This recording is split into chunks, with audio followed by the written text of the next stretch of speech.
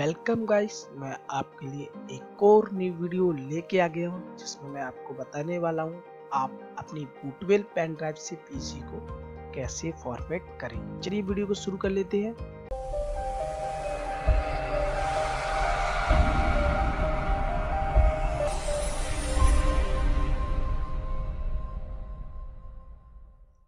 तो यहाँ पर मैंने पीसी मैं अपनी पेन ड्राइव बूटेबल जो पेन ड्राइव की थी, उसको लगा लिया है। और सिंपली मैं इसको स्टार्ट कर ले रहा हूँ। यहाँ पर आपको स्टार्ट करने के बाद एफ़ एलेवन प्रेस करना है। तो यहाँ पर मैं एफ़ एलेवन बार बार प्रेस कर रहा हूँ। आपको भी यहाँ पर एफ़ एलेवन प्रेस करना है। आप एफ़ एलेवन प्रेस करेंगे तो इस तरीके से आपको ऊपर आ जाएगा। यहाँ पर आपने जो पेन ड्राइव बूटेबल लगाई थी, वो आ जाएगी। यहाँ पर उस पर आपको सिंपली क्लिक कर देना है। यहाँ पे एच की मेरी है तो एच पी मैंने क्लिक कर दिया। तो यहाँ पर आपको विंडो लोडिंग लेने लगेगा। तो यहाँ पर लेने दीजिए, कुछ फ़ाइल आपकी विंडो लोडिंग लेंगी। फिर आपको यहाँ पर कंप्यूटर को फॉर्मेट करके विंडो इंस्टॉल करना है, ठीक है? तो यहाँ पर विंडो लोडिंग ले रहा है, थोड़ा टाइम लेता है। तो स्टार्टिंग विंडो हो रहा है। और यहाँ पर आपने अगर पेन ड्राइव बूटवेल नहीं बनाई है तो मैं आपको नीचे डिस्क्रिप्शन में लिंक दे दूँगा, जिससे आप पेन ड्राइव बूटेबल सिंपल तरीके से बना सकते हैं, कोई झंझट नहीं होगा। ठीक है? तो लिंक आपको डिस्क्रिप्शन में मिल जाएगी। तो इस तरीके से आपको विंडो लोडिंग का इस तरीके से आ जाएगा आपको। यहाँ से आपको कुछ नहीं करना है नेक्स्ट करना है। या तो आप यहाँ पर लैंग्वेज चेंज या कुछ चेंज करना चाहते हैं तो कर सकते हैं अपने हिसाब से। लेकिन मैं यहाँ पर नेक्स्ट कर दे रहा हूँ। तो सिंपल आपको नेक्स्ट करना है और इंस्टॉल नाउ पर क्लिक कर देना है यहाँ पर, ठीक है?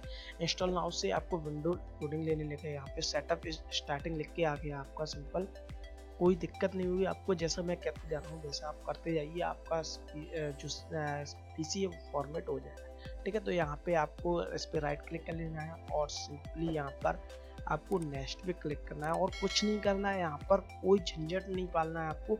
जो मैं आपको सेटअप बता रहा हूँ, जो आपको स्टेप बता रहा हूँ, वो आप फॉलो करते जाइए और आप अपने पीसी को सिंपल तरीके से फॉर्मेट कर सकते हैं। तो यहाँ पर आपको नेक्स्ट करके कस्टम पे क्लिक करना है।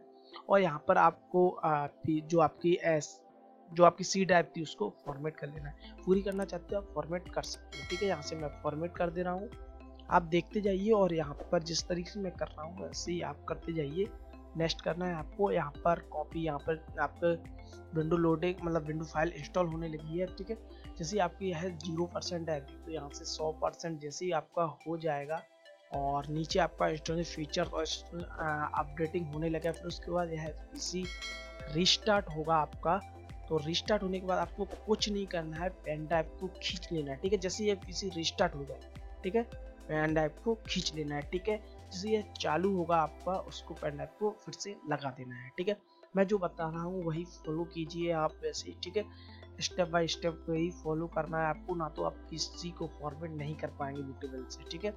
मैं बता रहा हूँ वो कीजिए जिससे आपको कोई प्रॉब्लम नहीं आएगी। आप सिंपल तरीके से आप पीसी को फॉर्मेट कर सकते हैं ठीक है? यहाँ पर मेरा 89 हो चुका है 92, 94, 95, 98 और 99 तो यहाँ पर 100 होने वाला है। 100 के बाद इंस्टॉलिंग फीचर्स होंगे फिर इंस्टॉलिंग अपडेट होगा फिर उसके बाद पीसी आपका रिस्टार्ट होगा ठीक है?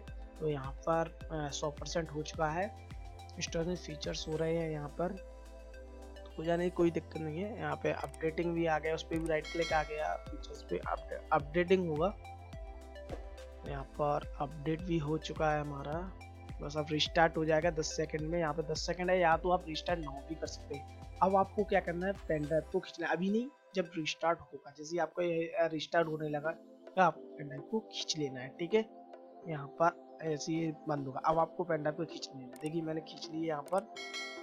यहाँ पर अब लगाने के लिए तैयार रहना है, ठीक है? जैसे ही आपका सेटअप लिख के आएगा स्टार्टिंग होगा, अभी नहीं आपको, जब सेटअप लिख के आएगा, ठीक है? आगे स्टार्टिंग विंडो के बाद कुछ लिख के आएगा, मैं अभी बता रहा हूँ आपको। यहाँ पे देखिए सेटअप इज़ अपडेटिंग लिख के आ गया। यहाँ पर अप पेन ड्राइव को आपको लगा देना है, ठीक है? यहाँ पे कोई प्रॉब्लम नहीं आएगी आपको कि बार बार पेन ड्राइव खींच रहा है कोई प्रॉब्लम नहीं आएगी। यहाँ पर मैं बता रहा हूँ, वैसे आपको हर स्टेप फॉलो करना है, ठीक है? तो यहाँ पे सेटअप इज़ स्टार्टिंग सर्विस लिख के आ गया है आपको। तो यहाँ पर कुछ चीज़ें और रही हैं विंडो की तो वो भी आपका जल्दी से जल्दी हो जा रहा है यहाँ पर। तो अब मैं जैसा बता रहा हूँ, वैसे ही आपको करना है, ठीक है? और अगर आपने मेरी पेनड्राइव वाली वीडियो पेनड्राइव वाली वीडियो नहीं देखी है तो नीचे आपको डिस्क्रिप्शन लिंक मिल जाएगी वहाँ से जाके आप। पेनड्राइव बूटेबल किस तरीके से बनाए तो वहाँ पे सीख सकते हैं। और अभी तक आपने मेरे चैनल को सब्सक्राइब नहीं किया है तो जाके सब्सक्राइब कर ले और बेल आइकन को ज़रूर प्रेस करें ठीक है? तो यहाँ पर रिस्टार्ट होने लगा फिर से आपको पेन ड्राइव को खींचना है, ठीक है? दो बार खींचना है, ध्यान रखना है। तो यहाँ पर जैसे ही, देखो मैंने खींच लिया यहाँ पर। फिर स्टार्ट होगा आपका, फिर आपको पेन ड्राइव को लगा देना है, ठीक है? दो बार आपको पेन ड्राइव को खींचना है, जब भी रिस्टार्ट हो स्टार्ट होगा, तभी नहीं आपको तो यहाँ पर स्टार्टिंग विंडो फिर से लिख के आ गया हमारा।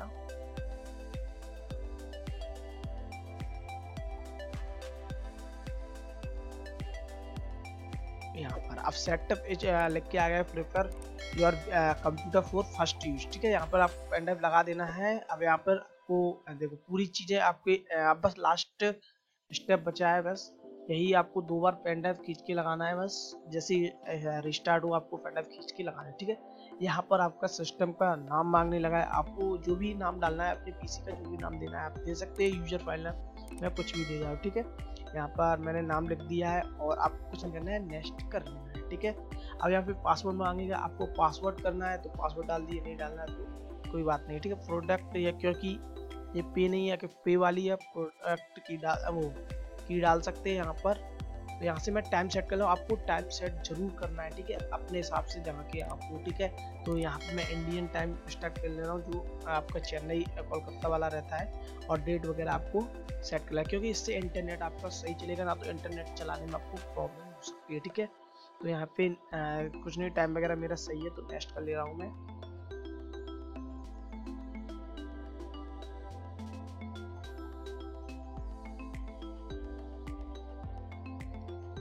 ये आपका वेलकम लिख के आ गया है। बस प्रिपेयर योर डेस्कटॉप बस वो आपका विंडो इंस्टॉलिंग हो चुका है, आपको कोई प्रॉब्लम नहीं आई अभी तक। मैंने जो जो सेटअप बताए स्टेप बताए आपको फॉलो करना है। जहाँ जहाँ मैंने बताया पेंडर खींचना है, वहाँ पर आपको पेंडर खींच के दोबारा लगाना है, ठीक है? इतना बस आप करते जाइए आपको आप पीसी नॉर्मल तरीके से फॉर्मेट कर सकते हैं। तो यहाँ पर आपका पीसी चालू हो चुका है, यहाँ पर आपको कोई चीज़ आइकॉन वगैरह नहीं दिखाई दे रहे, ये लगाना मैं अगली वीडियो में आपको बताऊँगा तो आप अगली वीडियो का वेट करें, जिसमें मैं आपको यहाँ पर आइकॉन वगैरह और जो नॉर्मल सॉफ्टवेयर रहती है, जिसके ड्राइवर होता है, बिल्कुल आप इंस्टॉल कर सकते हैं तो मैं यहाँ पर उसको अगली वीडियो में आपको बताऊँगा। चलिए तो वीडियो के यहीं पे समाप्त करते हैं।